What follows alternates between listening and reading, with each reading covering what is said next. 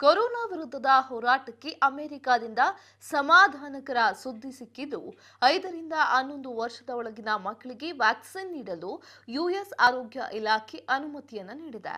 Pfizer vaccine kid size covid nineteen ತುರ್ತು ಬಳಕೆಗೆ America ಅನುಮತಿಯನ್ನ ನೀಡಿದೆ.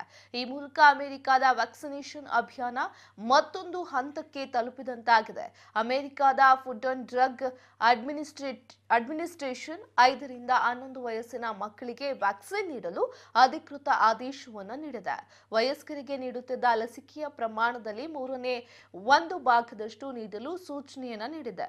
ಇನ್ನು ವಯಸ್ಕರಿಗೆ ನೀಡ್ತಿದ್ದ ಲಸಿಕೆಯ ಪ್ರಮಾಣದಲ್ಲಿ ಒಂದು ಮೂರನೇ ಒಂದು ಭಾಗ ಮಾತ್ರ ಮಕ್ಕಳಿಗೆ ಲಸಿಕೆಯನ್ನ ನೀಡಬೇಕು ಅನ್ನೋ ನಿಟ್ಟಿನಲ್ಲಿ ಈಗ ಸೂಚನೆಯನ್ನ ನೀಡಿರುವಂಥದ್ದು. ಇನ್ನು ಮಕ್ಕಳಿಗೂ ಕೂಡ ಕೊರೋನಾ ವ್ಯಾಕ್ಸಿನೇಷನ್ಗೆ ಅವಕಾಶ ನೀಡಿದ್ದು ಎಪ್ಪತ್ತೆಂಟು ಮಿಲಿಯನ್ ಯಂಗ್ಸ್ಟಾರ್ಗಳಿಗೆ ಇದರ ಉಪಯೋಗ ಆಗಲಿದೆ ಅಂತ ಸಿ ಒಂದು ಡೈರೆಕ್ಟರ್ ಡಾಕ್ಟರ್ ರೋಜಲ್ಲೆ ಮಾಹಿತಿಯನ್ನ ನೀಡಿದ್ದಾರೆ.